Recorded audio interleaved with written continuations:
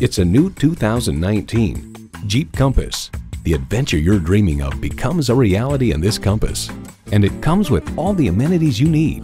Bluetooth streaming audio, doors and push button start proximity key, dual zone climate control.